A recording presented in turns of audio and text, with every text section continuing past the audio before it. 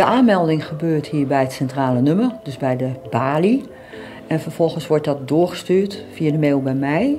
Ik krijg dat binnen, ik bekijk de gegevens. Dan gaan we kijken wat de 75-plusser graag wil. En vervolgens gaan we kijken in welke wijk woont die vrijwilliger. En de 75-plusser. En dat koppelen we aan elkaar. Hoe blij bent u met dit bezoek? Ja, ik vind het ontzettend leuk om, om de, deze nieuwe start hier in Zeist te maken. Met de kans om inderdaad eh, allerlei wijken en mooie plekjes te verkennen. We zijn dus naar de film geweest. Ik moet zeggen dat ik, ik vind het ontzettend waardevol. Ja.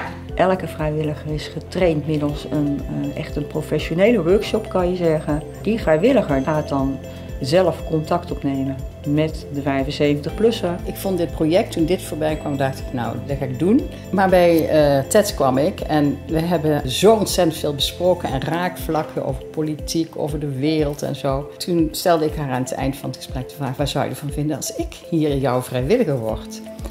En uh, nou, ik ken zij al aardig, dus uh, nou, dat vond ze eigenlijk wel leuk. Aan het einde van het gesprek vullen zij samen een verslag in met de 75-plusser. En met diens toestemming komt dat weer terug bij ons. En dan voeren we dat helemaal weer in in het systeem, een beveiligd systeem. En dan hebben we één social worker die speciaal hiermee bezig is en alle terugkoppelingen leest. Ik vind het ontzettend leuk om vrijwilligerswerk te doen, omdat je bij ouderen binnenkomt en ook voor iets hen kan betekenen. En ik vind het ook heel dankbaar om het te mogen doen, omdat je dan nog iets, zelf ook iets kan betekenen.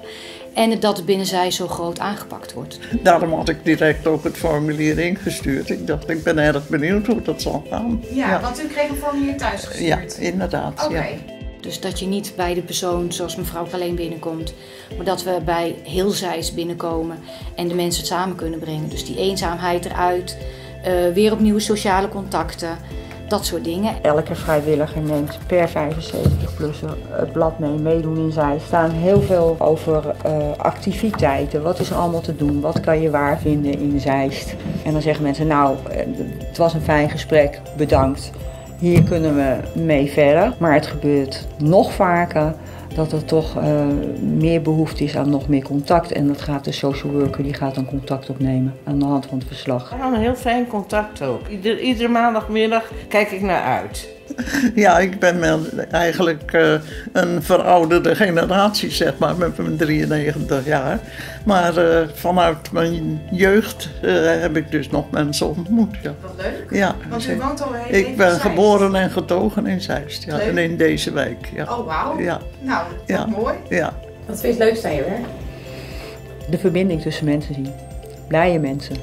Dus het geeft mij voldoening als ik zie dat mensen bij het binnenbos koffie drinken. Of bij de Gouden Koets opgehaald worden. Ja, dit is echt een win-win situatie en dat geeft energie. Dit is meedoen in Zeist. En ik denk qua organisaties dat je echt kan zeggen het samen doen. En dat geeft heel veel kracht en energie. Ik denk voor alle vrijwilligers.